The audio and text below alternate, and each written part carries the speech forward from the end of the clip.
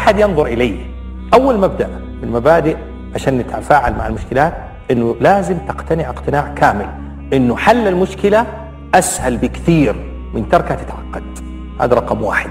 هكذا تقتنعوا بهذه القضية أنه أنا لما هبدأ أبادر وأحل المشكلة يعني هتكون أسهل من أني أتركها تتعقد. ولذلك الناس أصناف في المشاكل. في صنف يتركها بدون حل. يقول الزمن كفيل بها ما يعرف أنها قاعدة تكبر. وفي صنف يتركها لبعض من الوقت ثم يحلها. وفي صنف يبادر مباشرة إلى حلها في مهدها.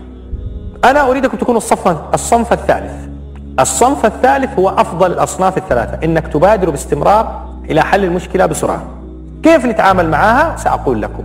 أولا السيطرة على الحالة النفسية. بمعنى أي مشكلة تأتيكم ما أريدكم تكونوا يعني غضبانين زعلانين قلقين لا نوع من السيطرة على الحالة النفسية. بعد ذلك أريدكم تبذلوا 20% في فهم المشكلة و80% في حل المشكلة.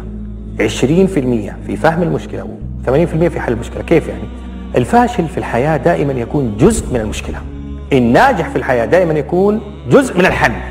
أنتوا تريدوا لما تحدث لكم مشكلة تكونوا جزء من الحل ولا جزء من المشكلة؟ أنتوا اللي تقرروا.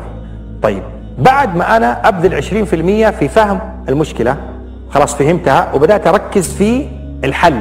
مهم جدا وأنت بتحل المشكلة لازم تضع لك على الأقل ثلاثة خيارات. يعني أي مشكلة في الدنيا وأنت بتحلوها أرجو أنكم تعملوا ثلاثة خيارات. نيكسون في قصة حياته وهو كان رئيس أسبق للولايات المتحدة الأمريكية يقول في قصة حياته تصبح الحياة مملة كئيبة إذا انعدمت الخيارات أمامنا. لذلك أعمل خيارات. طب عملت خيارات في حل المشكلة.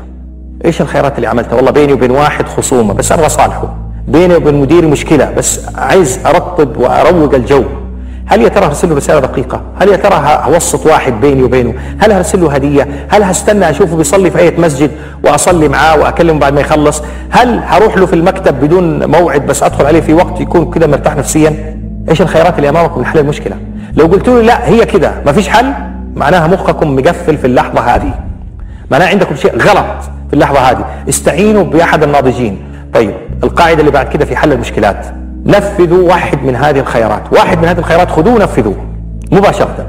هناك قاعدة من قواعد حل المشكلات في الحياة تقول اقتل الوحش وهو صغير.